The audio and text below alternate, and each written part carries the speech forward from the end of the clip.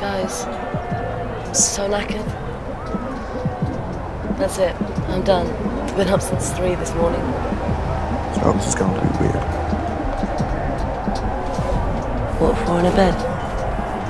Oh, no, that's fine. I. I never had a guy there before.